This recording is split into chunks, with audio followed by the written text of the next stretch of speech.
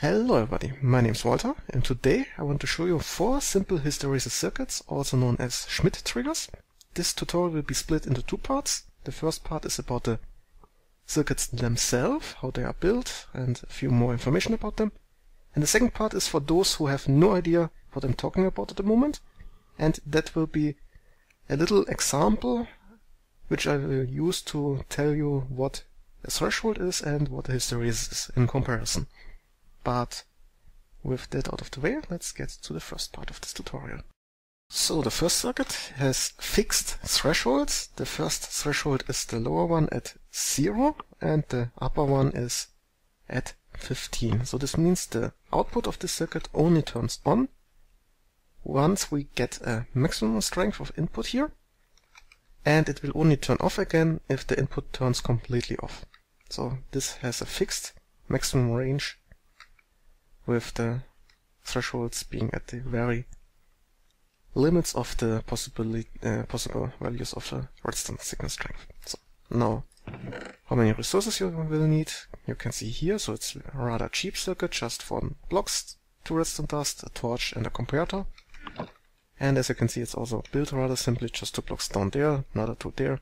Comparator feeds into the block with the torch on top, and then we have the two redstone dust to the side and a in subtract mode. This is the entire thing, so just a 2x2 footprint with 3 blocks height. Very compact and very simple to build. But also fixed in the ranges.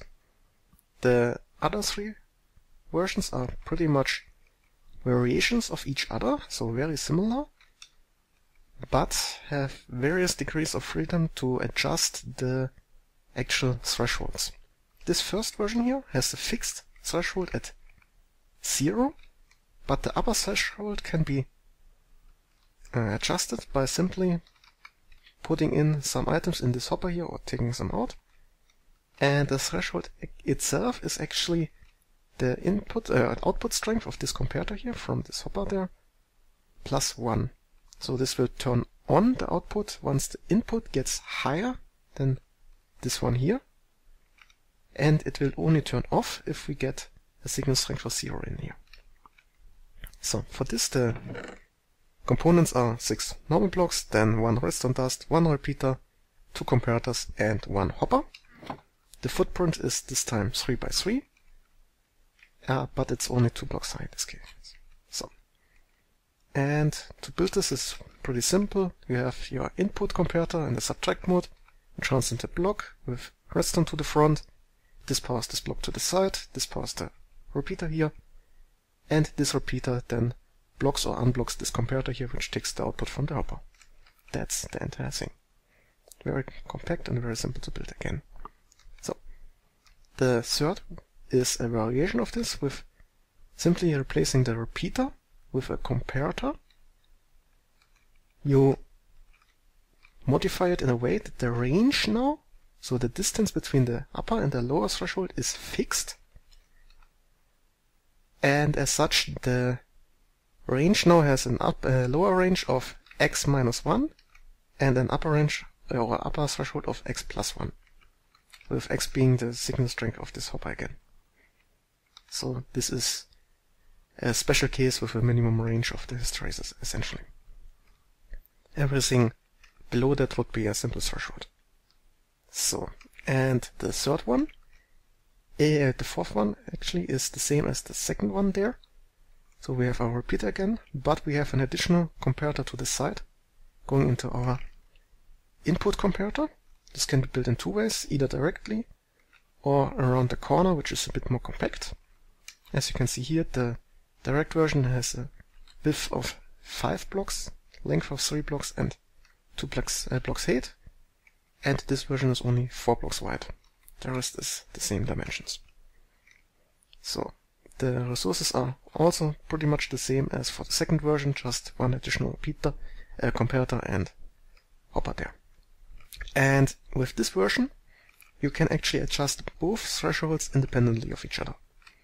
When you have X as an output from this hopper here, with, where that gets occasionally blocked by the repeater here, and y is the comparator that's not getting blocked. Then you have a lower threshold of y and a higher threshold of x plus 1.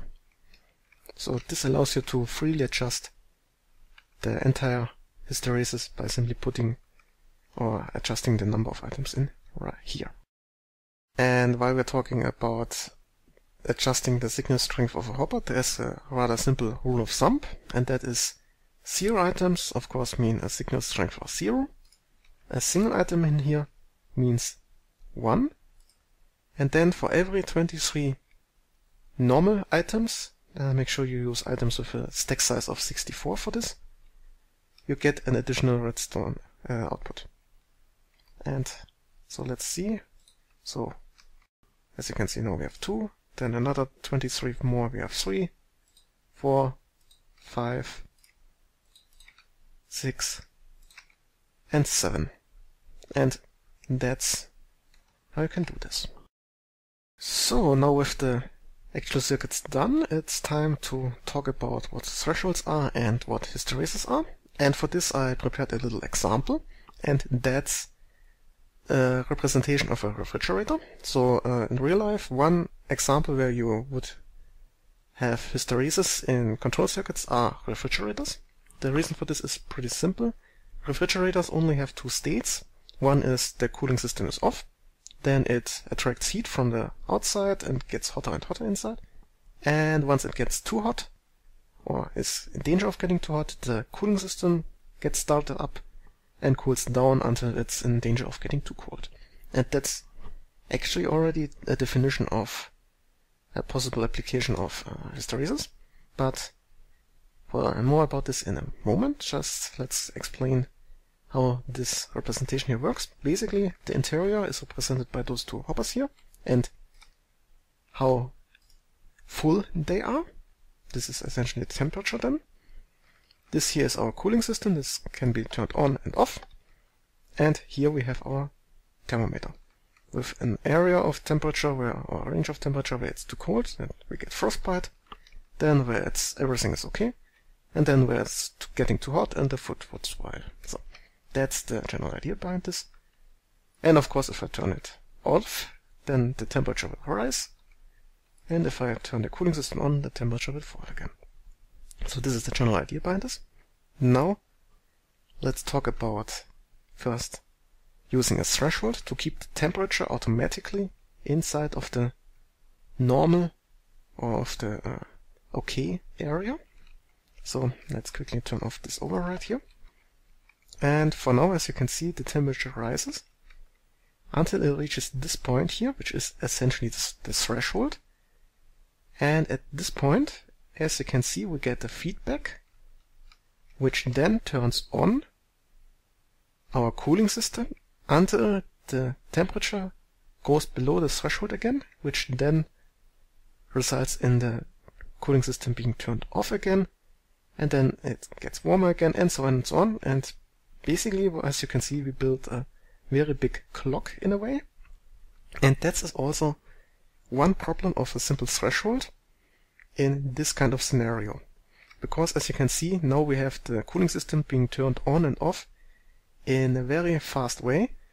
Actually, if I decrease the delay in here, you can see it's even turning on and off so fast as, uh, that the lamp is not getting the updates properly. So, and uh, well, this might not be a real problem in Minecraft, but in real life, a refrigerator contains usually mechanical parts and heat exchangers and other such things that don't really like being turned off and on in too high a frequency and will break rather fast if this happens. So for a refrigerator, this is not really a go-to solution. So, and that's basically where hysteresis comes into play, because if you want to have the refrigerator turning on and off as less as possible, or as little times as possible. And for this, you essentially want to turn it only on when it's getting in danger of getting too hot, but only turn it off when it's getting in danger of too, getting too cold. So for this, we need essentially two thresholds, one where it's turning on, and one where it's turning off. And that's essentially the definition of a hysteresis. And let's quickly show you the example here. So again, we have an override here. This is a hysteresis circuit I showed you earlier in this tutorial. And now let's see, the temperature rises. And now we have hit the upper threshold. It's getting cooled down again. Now we've hit the lower threshold and the cooling system has been turned off. And now we are essentially just going back and forth between the two thresholds here with this setup. And this has as a result the minimum frequency of turning on and off the cooling system here. So just what we wanted. Okay, so this is essentially what the hysteresis in control circuits is. Uh, this is a very binary version, which basically just has an on or off output. Hysteresis in real life can have several analog uh, versions, but if you want to know more about this, I would recommend watching uh, or reading the Wikipedia articles for this. Um, they are quite interesting and you might be surprised where you can find hysteresis in real life. Okay, so that was how you can build those four hysteresis circuits and also a general explanation of thresholds and hysteresis. I will put a link for this world here in the description as well as links to several different Wikipedia articles. I hope you enjoyed this little tutorial and well, see ya!